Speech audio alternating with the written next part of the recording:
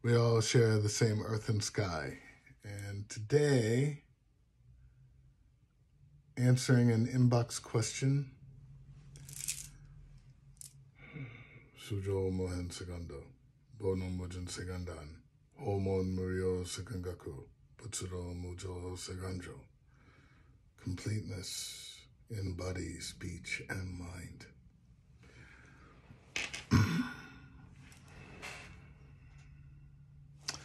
The inbox question has to do with making time to do zazen, how much time.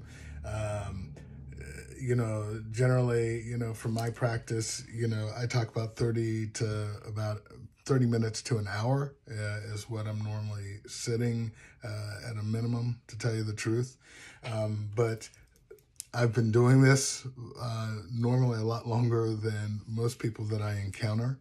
Um, and so, uh, th- I have two basic answers about this, and um, one is uh, like um, a shallow end of the pool answer, and uh, the other one is the deep end of the pool answer. And so, um, so let's uh, really tackle this.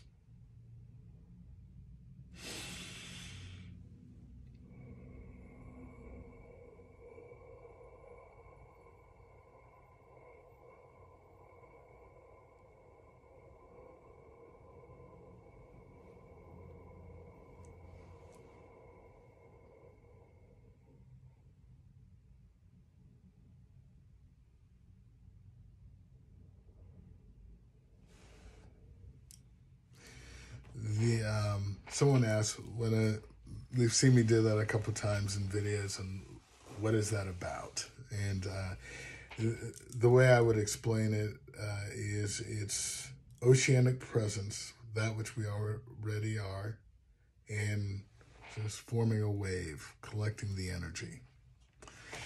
Uh, can be helpful. Um, okay, so shallow end of the pool answer.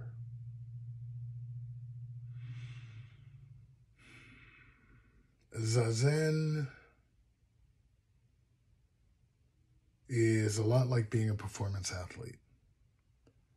That you want to warm up before you go out on the field. So, um, if you're a lacrosse player, you're going to, you know, do warm up exercises. You may stretch, you may do this, you may do that. If you're a weightlifter, if you're a runner, you don't just strap on your shoes and just immediately go out and run. You do some things and prepare.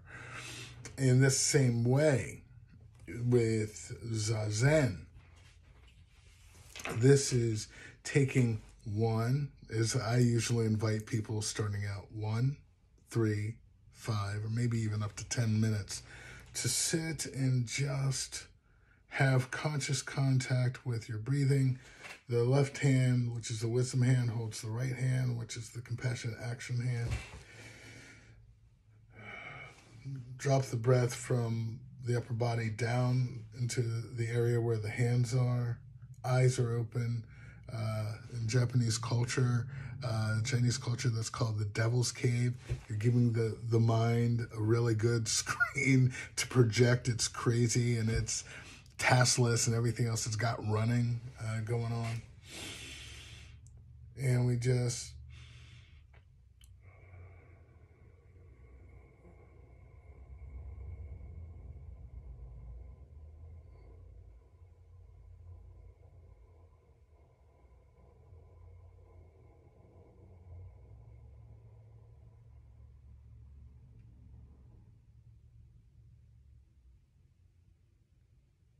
breathe.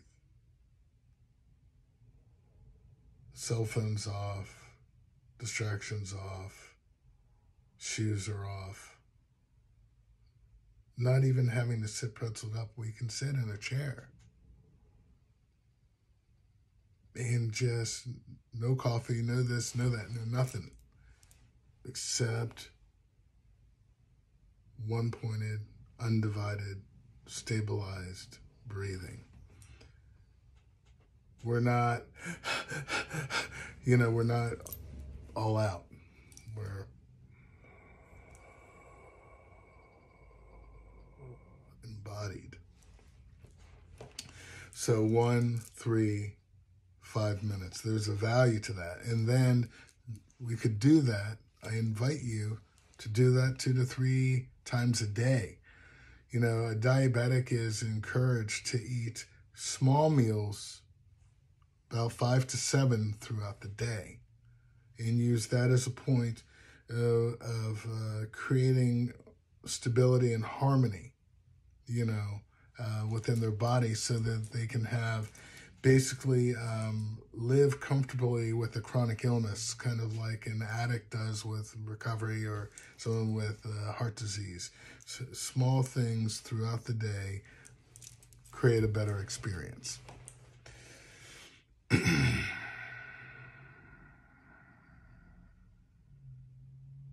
That's the shallow end of the pool answer.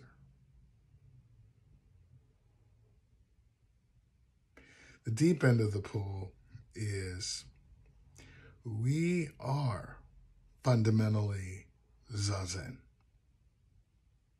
Zazen is not something that you do. Zazen is who we are. It's very much the same thing as yoga. People actually have the idea, and this like is bizarre and this is so Western that it's okay. I'm I'm doing yoga today. I'm going to yoga class. I'm getting on the mat. And uh, in India, they're like, yoga is who we are. Yoga is not sometime. Yoga is all the time. When we're eating, it's yoga. When we're sleeping, it's yoga. When we're interacting, it's yoga. In to the best of our ability in each moment to have a sense, you know. In Zazen, which is another way of saying yoga, just in another culture, is precisely the same thing. And in fact, you know, this is something that I alluded to um, maybe last week in a post that I made where I said, you know, there are four postures in Zazen traditional sitting, there is standing, 360 degree aware observation, there is walking, and then there's lying down. That a lot of times, honestly, every morning uh, when the body boots up, and uh, you know there's this flickering of awareness okay i'm awake i'm literally laying there intentionally harmonizing with my breathing and just scanning through my body.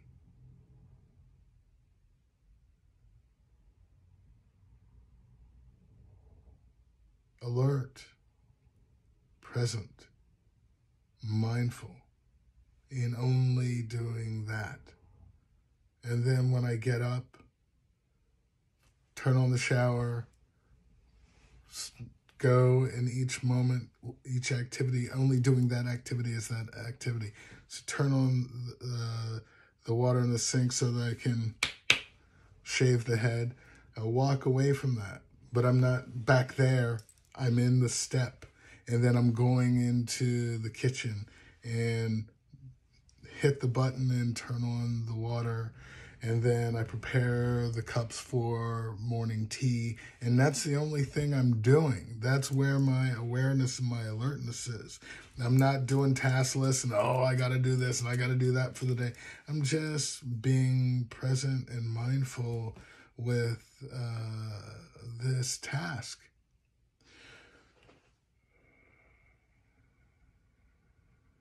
And then when I leave that task, I'm not back there still making tea. Get the shaving cream on the head, and I start shaving. I'm feeling, noticing.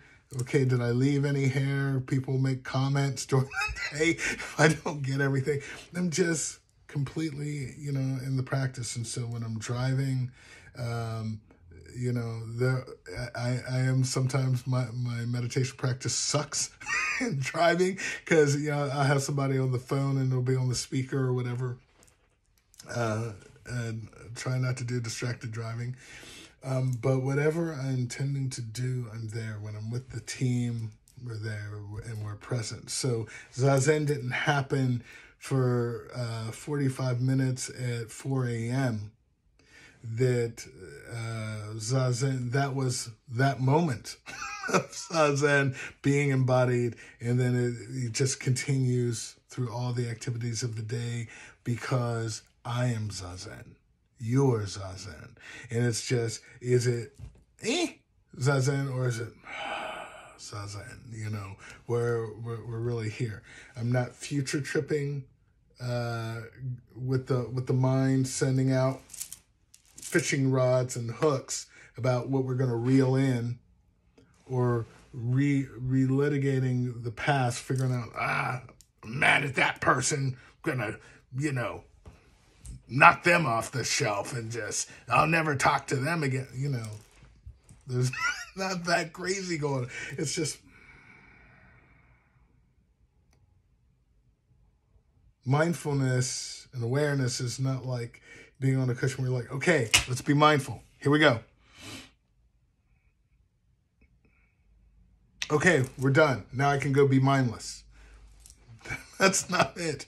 It's because it, it's not a yes or a no either. It's a it's a volume knob. It's like there, there's this this thing in what, uh, a particular book uh, the the I really favor a lot, and in the book it says fear is a lack of faith. And, and I said to, to one of the people who helped write that book, I said, that's 100% bullshit. Fear isn't a lack of faith.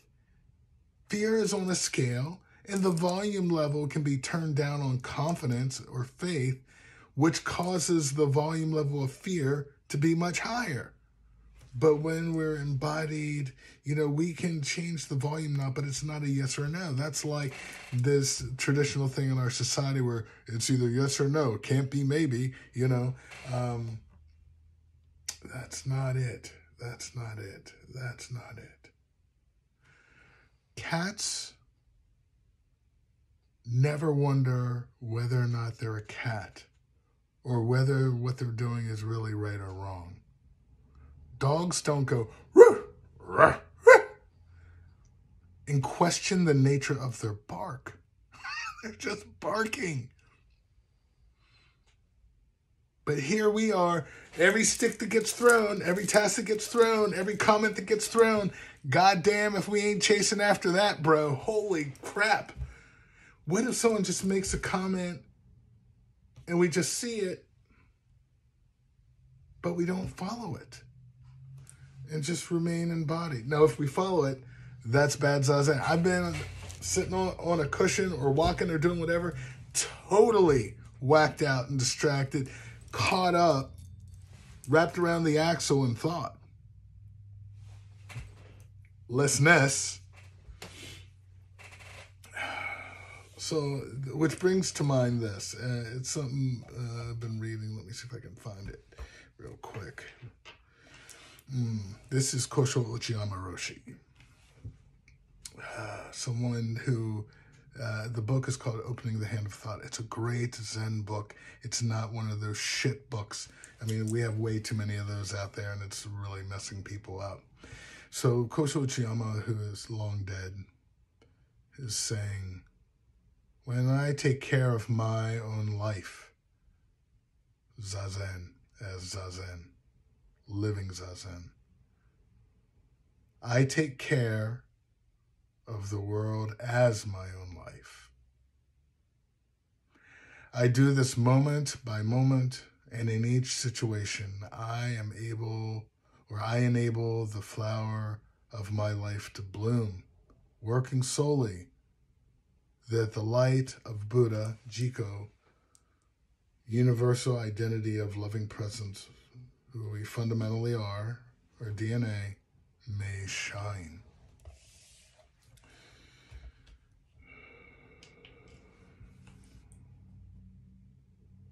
We are Zazen. Zazen is not something you do. We share the same sky. Be